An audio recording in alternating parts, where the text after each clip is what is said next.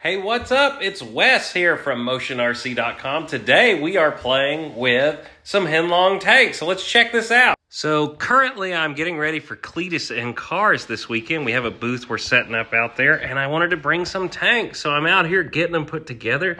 This is the Abrams from Heng Long available here at Motion RC. Let's fire it up and check out some of the features. So it's about to get loud in here, but check it out. Let's turn the Abrams on.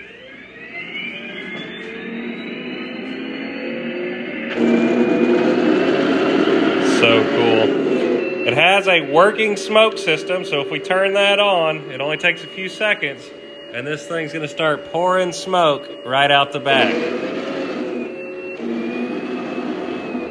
It also has the working gun, turret, traverse. These things are awesome.